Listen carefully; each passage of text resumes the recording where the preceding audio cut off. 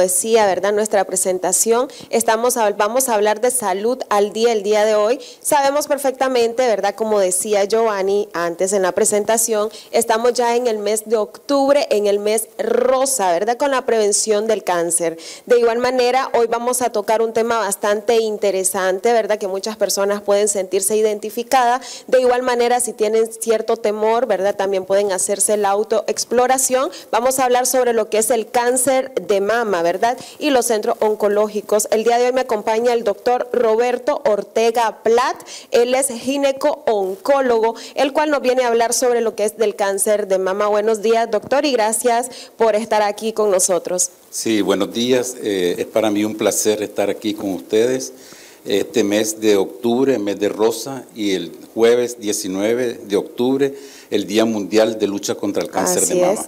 Sabemos que no debe ser solamente el mes y el año, sino que deben de ser los 365 días del año para estar alerta ante esta enfermedad. Este día queremos recordar a las pacientes que ya no están con nosotros, a las pacientes sobrevivientes de cáncer de mama y a todas aquellas pacientes que están luchando con la quimioterapia y su tratamiento oncológico para salir adelante. Sabemos que el cáncer de mama es un problema a nivel mundial. Así es. Es un problema de salud, no solamente para los países latinoamericanos, sino también para los países desarrollados. Es por eso que los empeños van en educar a la población para que esté alerta ante el cáncer de mama. Las estadísticas son muy duras.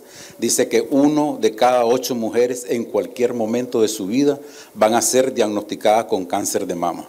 Sabemos que la población nicaragüense, más del 50% es una población femenina, una población joven, trabajadora, madre, padre y muchas veces involucrada en el quehacer económico del país. Y un fallecimiento en una paciente joven es, digamos, un problema eh, social, un problema de familia, de núcleo familiar.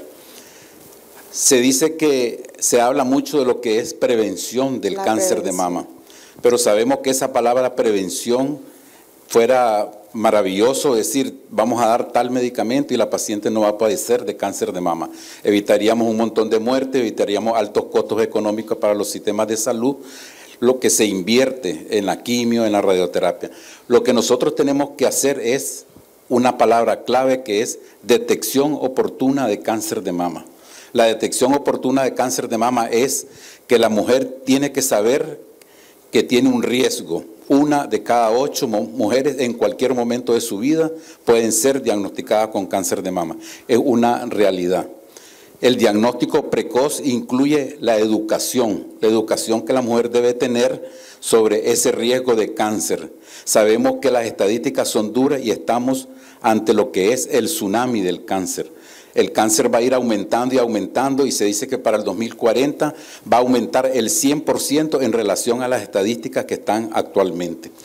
Entonces, ¿cómo es eh, que vamos a llevar ese a cabo ese diagnóstico precoz?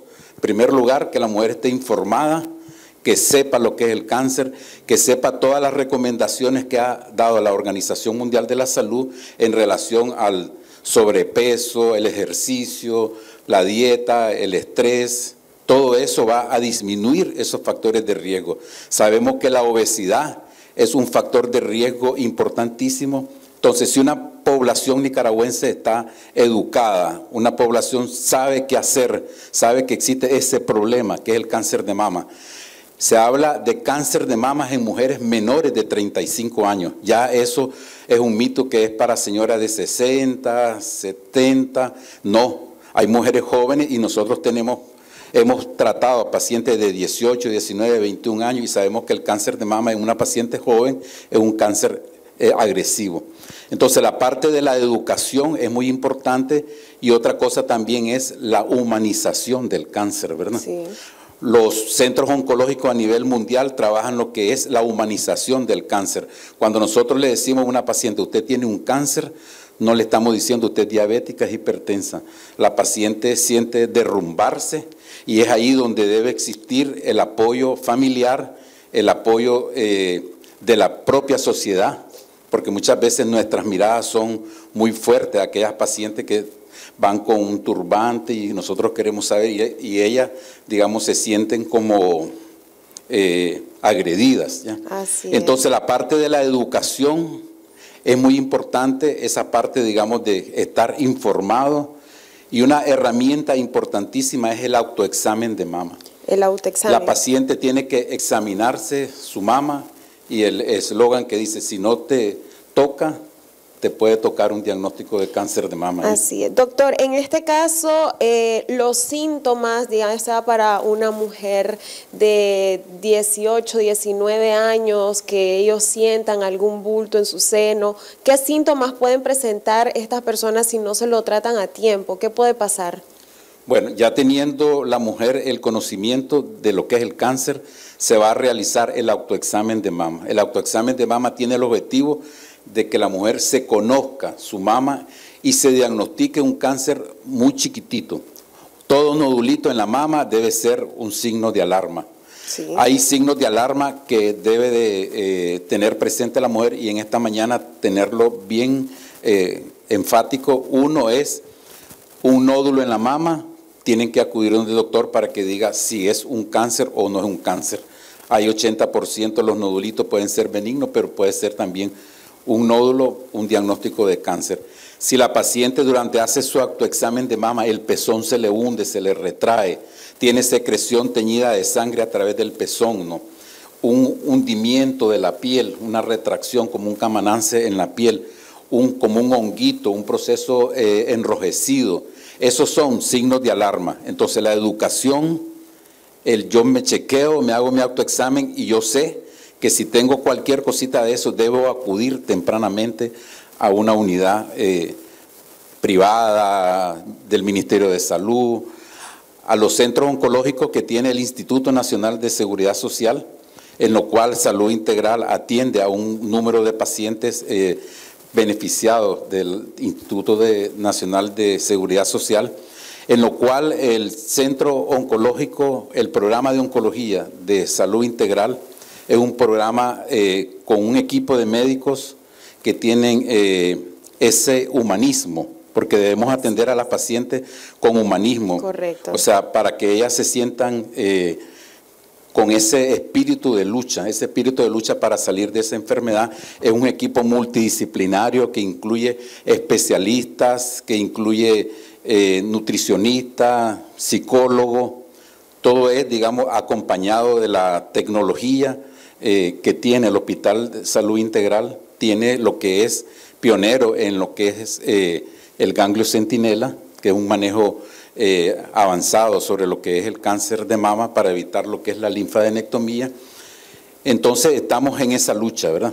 En esa lucha llevando lo que es la humanización y llevando lo que es la concientización de lo que es el cáncer de mama. Así es, doctor. De hecho, hay muchas personas que en este momento nos pueden estar sintonizando. De, eh, estamos hablando sobre lo que es el cáncer de mama y para las personas también que no saben, en el Hospital Salud Integral hay un centro oncológico donde si usted tiene o se ve afectado, ¿verdad? Eh, se ve que tiene algún bulto, el hundimiento del pezón, como usted dice, le anda doliendo esa área, ustedes pueden acudir a lo que es el Hospital Salud Integral en este centro oncológico para tratarse a tiempo lo que es esta enfermedad, porque sabemos que es una enfermedad bastante fuerte, bastante grande, que muchas personas han salido y hay que valorarlas porque han sido bastante fuertes. Sí, entonces la clave está en el diagnóstico precoz de cáncer de mama. Eso conlleva la concientización de la paciente, de la población, que hay un problema de, salud a nivel mundial, que es el cáncer de mama, y eso, digamos, vamos a estar eh, educados, acompañados de lo que es el autoexamen de mama, y así vamos a hacer diagnóstico precoz. Ese diagnóstico precoz es la lucha para salirle adelante a esta enfermedad. Si nosotros tenemos diagnósticos tempranos, un nodulito chiquito, esta paciente va a ser menos agredida por la quimioterapia, cirugía conservadora, a lo mejor no hace radioterapia, y entonces eso es importante. La humanización es otra parte eh, importantísima y que el problema del cáncer de mama no solamente es de la paciente que padece la enfermedad, es un problema del núcleo familiar, es un problema de la sociedad y entonces así, digamos, todos unidos podemos enfrentar este gran problema de salud que es el cáncer de mama. Doctor, eh, en el centro oncológico que ofrece lo que es el Hospital Salud Integral, ¿Qué es lo que ofrecen a las personas que llegan? En este sentido, las prevenciones, ustedes les dan charlas, ¿qué tipo de tratamiento se le ofrece en este centro? Bueno, hay dos partes, digamos, la parte de salud integral, que es la empresa médica, donde las pacientes son atendidas, se le hacen su chequeo de su mamografía, se le dan sus charlas sobre prevención de cáncer de mama.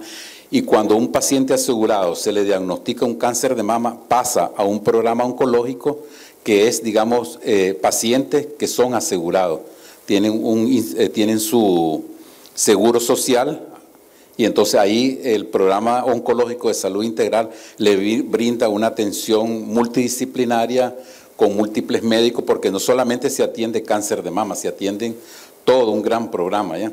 Y eso incluye eh, la nutricionista, cómo se va a alimentar cuando está haciendo su quimio, cómo va a la parte psicológica, el trato, porque estamos en la humanización. la humanización es que aquella paciente que llega a un centro de salud no se sienta eh, que va, digamos, como a la deriva, que no sabe, sino que se sienta que se le llama por un nombre, que se le atiende. También ellas reciben eh, testimonios de otras pacientes y eso es muy importante, digamos, los testimonios de las sobrevivientes con cáncer de mama para que se sientan identificados y les dé bastante apoyo. También hay que ir acompañado con un familiar o ya sea con un amigo también, porque eso ayuda bastante a lo que es la psicología como tal, porque no podemos enfrentar una enfermedad solos. Sí, es lo que te decía, la parte de la humanización de los sistemas de salud que están vinculados con pacientes que atienden cáncer de mama, la humanización del núcleo familiar, ¿verdad? En apoyo a aquella paciente y eh, también la humanización de la sociedad. Mientras más informados estemos sobre el cáncer de mama, más informados estemos que las cifras de cáncer se van aumentando en todo, niños, jóvenes, varones, lo que es el tsunami del cáncer. Entonces, ante todo eso debemos de estar eh, alerta, informados y actuar. La mujer debe de actuar haciéndose su autoexamen de mama. Su autoexamen de mama va a ir ella descubriéndose su mama. Eso se hace una semana después que pase su periodo menstrual en aquellas pacientes que tienen menstruación y en aquellas que no, ya están en la parte de la menopausia, ellas van a escoger su fecha, un 10, un 15, un 20 y se lo van a hacer mensual. La paciente que se hace el autoexamen de mama llega al médico y le dice, doctor, aquí este nodulito no lo tenía. La paciente que no se chequea, no está informada, pues el cáncer de mama la sorprende. Si no se palpa su mama, no se la descubre, se va a palpar cuando siente un gran nódulo, que lo puede asociar que la golpeó el niño, que ella se mm. cayó, pero realmente es un gran nódulo. Entonces, el diagnóstico precoz de cáncer de mama nos va a llevar a diagnósticos tempranos y a que la paciente va a tener una sobrevida ya. Así es, como las sobrevivientes de cáncer, de igual manera, que pasan por procesos bastante difíciles, procesos eh, que son acompañados tanto por ustedes los doctores, que le ofrecen, como decía usted, la humanización eh, y, cuánto tiempo, cuánto tiempo duran estas personas haciendo sus tratamientos. Bueno, se lleva un tiempo, si la paciente va a la parte de la quimioterapia, pueden ser cuatro meses, después viene la cirugía, eh, la recuperación un mes, y si después esta paciente pasa al Centro Nacional de, Radioterapia Norastorga, donde son atendidas las pacientes con tratamiento para oncológico, puede ser que una paciente entre lo que es quimio, cirugía y radioterapia se puede llevar sus ocho meses por lo menos ya. Ocho meses, pero es un tratamiento eh, que ellas pueden salir si se los proponen, ellas salen de esta enfermedad y con el apoyo de la familia y de todo. Doctor, ¿dónde los podemos encontrar en las redes sociales? ¿Dónde lo podemos para, para las personas que están interesadas, verdad? Eh, y que quieren hacerse estas autoexploraciones, ¿dónde los podemos encontrar? Bueno, podemos eh, brindarles atención en la parte privada de la consulta de Hospital Salud Integral aquellas pacientes eh, que tienen un seguro social y son diagnosticadas con cáncer de mama, pues las vamos a atender en, lo que es el programa oncológico de salud integral. Y mi teléfono es 888-611-53 y mi clínica está contiguo al restaurante El Paladar en Los Robles. Siempre presto a este mes y todo el año a dar charlas, damos charlas eh, a grupos de mujeres, eh, cooperativas, mujeres organizadas, para llevar esa información, esa información que debe tener la población de que estar alerta ante el cáncer de mama y ante todos los cánceres. Por eso la Organización Mundial de la Salud ha dado las recomendaciones. La clave está en la dieta, tener una buena dieta, hacer ejercicio, evitar el fumado, evitar el alcohol, dormir tranquilo, relajado, que muchas veces es como difícil, ¿verdad? El estrés. Y entonces todo eso, ya hay factores de riesgo que la obesidad ya está relacionada. La obesidad es un factor de riesgo para cáncer de mama. La paciente tiene un sobrepeso o una obesidad, tiene mayor número de porcentaje de hormonas y esas hormonas hacen, digamos, que alimentan el cáncer, porque el cáncer de mama es un cáncer hormonodependiente. Entonces, eso, todo eso, digamos, la educación, eh, las recomendaciones de la Organización Mundial de la Salud, la debemos de tener presente no solamente octubre, el 19, que es el Día Mundial, sino todos los 365 días eh, del año presente para hacerle frente y salir adelante y que una mujer haga un diagnóstico temprano de cáncer de mama. Muchísimas gracias, doctor, por todas estas recomendaciones. Si están en casa, sigan las recomendaciones del doctor que son muy importantes.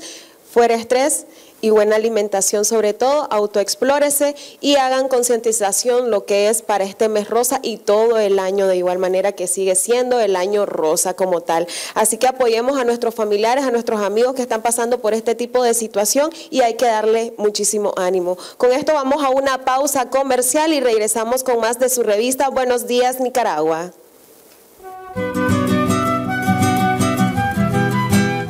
Reconocimientos denuncias, quejas y sugerencias, envíelas a Canal 12, programa Buenos Días Nicaragua, Residencial Bolonia, o llámanos a los teléfonos 2266-0691, 2266-9983, 2266-9984.